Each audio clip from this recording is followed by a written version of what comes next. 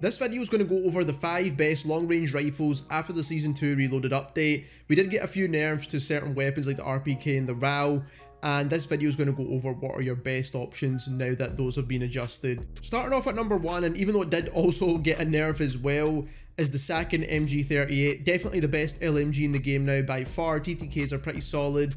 And not only that, it's very easy to use, magazine capacity is quite big, and this is the perfect build for it. Now, when it comes to optics, that's obviously personal preference, so you can do whatever you want with the optic, but when it comes to the attachment tuning for the one I use, this is what you see on screen at the moment. Feel free to screenshot um, the tuning if you need it. Then we do have the OLE laser, um, so we are uh, going to go with that to get the faster aim down sight speed and aiming stability bonuses. When it comes to tuning, again, you'll see that on screen. Um, it's very easy to get the perfect tunes now if you know exactly what you're doing. Then we are using the Bruen Silver Steel Series barrel not steel series i don't know why i said that um, but the barrel itself does help with bullet velocity and recoil control so you do get um, both of those bonuses there. That's why we're not choosing um, the ammunition type. And then when it comes to tuning, again, we're more tuning towards aim down sight speed and recoil control. It's very important uh, that you tune towards recoil. We are using the Zulu suppressor. I've said on numerous occasions this is the best suppressor in the game. Check sym.gg's website for overall getting the best bullet velocity, not too much of a con to aim down sight time and overall just the best stats when it comes to having a balanced suppressor. You could get more bullet velocity with other suppressors, but it's not really necessary to be honest. And then when it comes to tuning, this is what you want to be doing right here, more towards aim down sight speed once again, and more towards the recoil control side of things. Um, and then we are using the Bruen Warrior grip, which is the best grip for this gun. Um, you don't really need to choose anything else.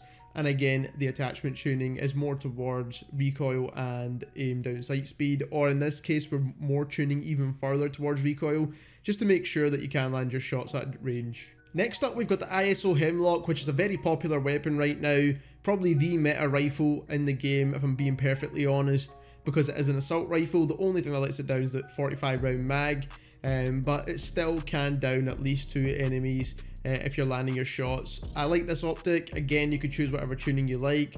Field or barrel, which is the best barrel for this gun. There's no other attachment you should be using here. This is the best attachment for controlling recoil on this weapon.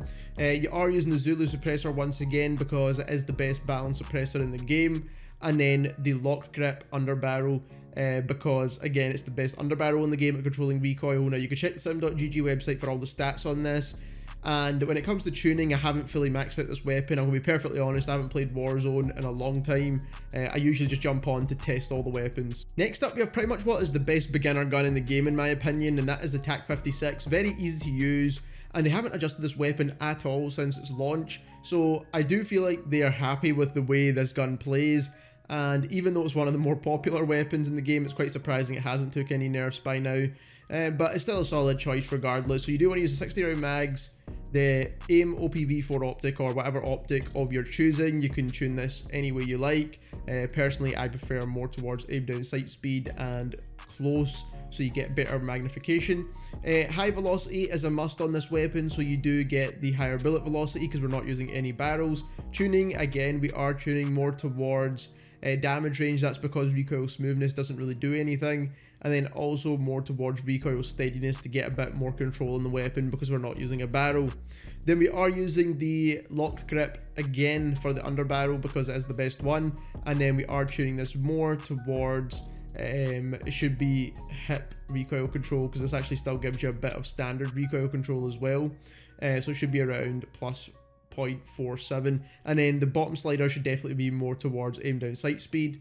The Zulu suppressor, once again, no changes here because it is pretty much the best suppressor in the game. And then we are tuning this once more, more towards aim down sight speed. And this bottom slider is going to come down to personal preference. If you do want a bit more bullet velocity in this gun, you can push it more towards that. And if you do want a bit more control, which is the one I would recommend, then push it slightly towards that. You're not going to lose too much bullet velocity to be perfectly honest, especially at below 200 meters. The next gun is another beginner style weapon, another very easy gun to use, and that is the M4. So in terms of the build, again, you want to choose whatever optic you like. I'll leave the tuning on screen so you can screenshot it if you need to.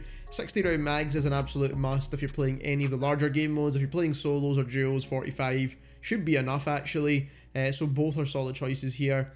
Uh, then we are using the lock grip once again for the underbarrel because it is the best like I keep saying. And then when it comes to tuning, you do want to go more towards aim down sight speed at the bottom and then more towards hip recoil control on the left hand side. Again, it does help with standard recoil control as well. Not by much, but definitely a slight amount. And then the Zulu suppressor once again because it is the best suppressor. And then the tuning again is going to be very similar here. More towards aim down sight speed, more towards idle stability or bullet velocity depending on your preference. And then when it comes to the barrel, we do want to choose the high tower barrel because it helps with recoil control and bullet velocity. And then when it comes to tuning, again, it's similar to what we had before with recoil steadiness and aim down sight speed. Last but not least, we have quite a surprising weapon actually, and I was going to put the STB on this list, but the STB has such a small mag that you can't really use it for quads, and I think that's probably the most popular game modes right now, so I do think the HCR is a solid choice. It's ground loot at the moment, so you should have leveled it up by now if you're playing a lot of Warzone. Um, and when it comes to the build, I do think this is the perfect build in my opinion. Uh, again, I'm using the optic that I prefer, but you can choose whatever optic you like. Um, then we are using the 7 milliwatt laser because it's going to help with the aim down sight speed of the weapon and the idle stability. And when it comes to tuning, this is how you want to tune it. More towards sprint to fire, more towards idle stability, of course. Then we are using the Turaco barrel, which is the one that actually helps with sound suppression, recoil control, and bullet velocity. So a lot of pros there. Obviously the cons are quite big as well, but when you do tune it, it actually does help the weapon quite a bit. So more towards recoil steadiness, more towards aim down sight speed.